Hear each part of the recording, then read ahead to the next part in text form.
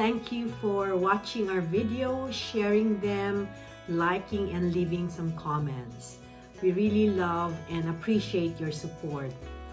Now, I, I will be sharing with you some of the French uh, skincare products and brands that I see at a French pharmacy.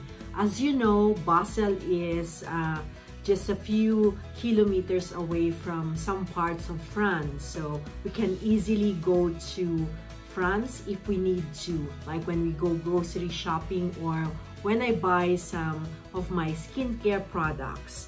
So some of, we know that France is a powerhouse for skincare, di ba?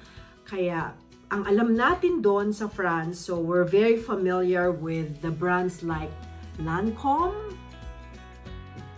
So I have here Clarins. And we're also familiar with uh, Biotherm.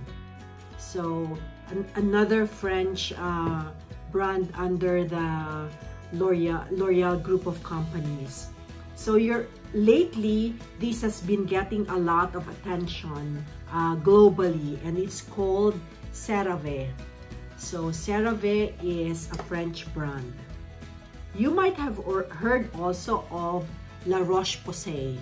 So they have a lot of products, uh, skincare products from, you know, washing down to moisturization. So this is very French. It's called Caudalie. So I'm not sure if I'm pronouncing it correctly, but it's uh, Caudalie.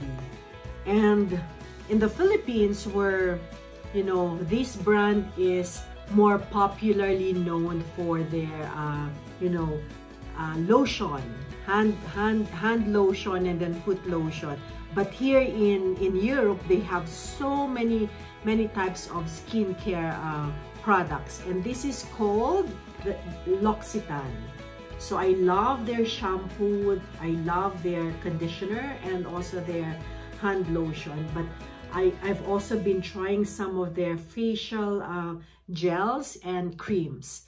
So let me share with you some of the clips I took in um, French pharmacy so that you'll see that there are so many types of skincare products and brands you, you see in, in an ordinary uh, pharmacy or drugstore.